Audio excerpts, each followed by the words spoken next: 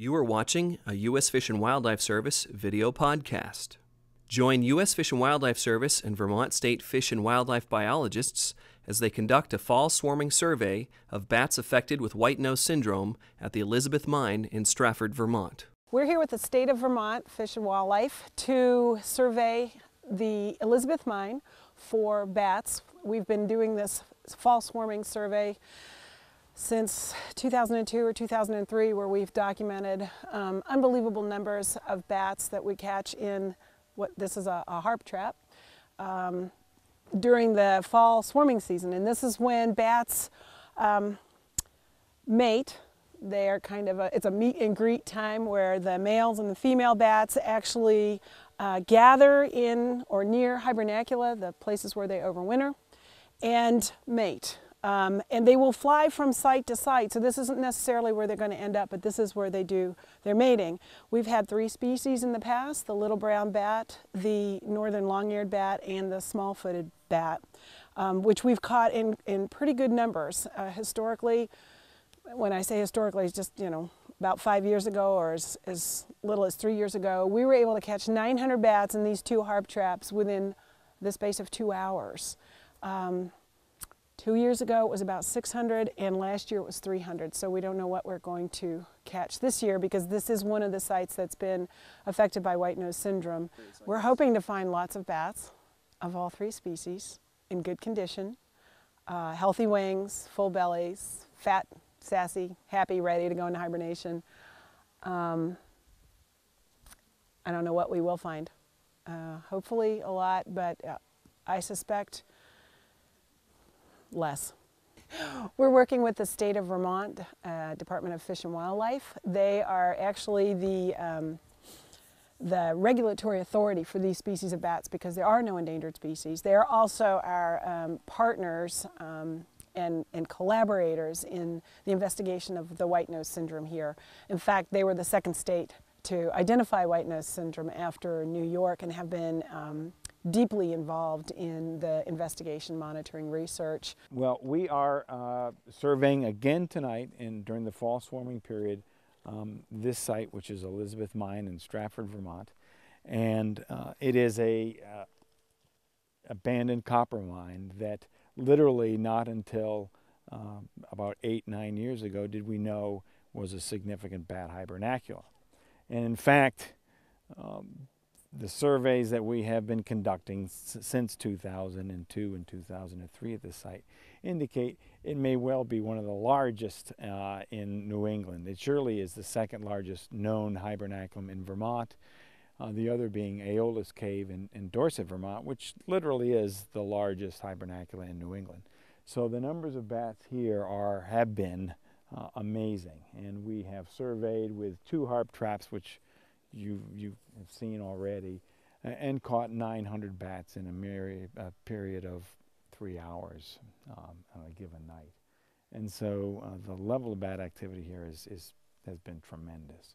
But what we have noticed last year um, the numbers have been declining. And in fact, it was late winter of 2008 that we first got observations of bats leaving this mine during the day and showing up on people's houses. And last year we had uh, those observations occur throughout the winter. And in fact, many of the houses down in this valley uh, would come home to four, five, six bats on the, the side of their house. And they'd found many bats uh, dead in their house as well. So this place has now experienced the full array of symptoms of white nose syndrome. And, and now we're really just monitoring these bats to see what their condition is as they come into the fall swarming period again this year. As night falls, biologists wait for bats. Biologists carefully remove a bat from the harp trap. Ooh, that looks fat. Looks like it's been feeding. Mm-hmm. The bat's wings and body are examined.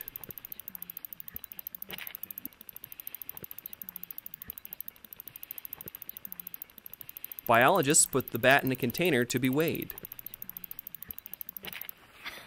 We're it put a hole in over. it. How much does it weigh? You get the 6.5 you know, grams. in your Right. little everything here. Six point five grams for weight. I've got everything here. So I gave it a VTEM-1. Measurements are taken and recorded in a field log. Okay, so we'll put capture number one. Where should we work on Thirty-four that? point nine. Thirty-four wanna point give it a- nine forearm length. Yeah, that looks good. That one. Yep. All right, so that would be a zero. Um, And Susie, you're what gonna- number do you have for that? Give that to me. VTEM-1. They're these little black U-shaped two little appendages hanging down on either side of the tail. The bat was determined to be a juvenile male. Oh, okay. So there's Uh, more. for male, you want about it. And it's point, pointed. yeah, and the, the adult is rounded and dark and well formed. Okay. After capture and measurement, All right, the bat was safely released into the wild. Go and reproduce like a lot. After three hours, only one bat was captured in the harp traps at Elizabeth Mine. Um, we we anticipated there would be less bats um, based on the amount of um, winter mortality that was documented in the nearby town, but um, we didn't anticipate getting one bat. Going from 300 to one. Well, I don't know, Scott. We went from 900 to 600 to 300. Logical progression, I guess, is one. Was one northern long ear. Quite disturbed to see such a dramatic decline, and and you know I, I think there's merit in uh, having one or two of us come back, see if we see just as little activity uh, in another evening. Um, but even if there were uh, issues such as uh, timing, uh, temperatures, uh, while it's not all that cold here, um, maybe there are other factors. So we'll just come back and see. But at this point in time, this is just such a dramatic decline from what we've experienced in the past. It just uh, has to raise some real concerns again.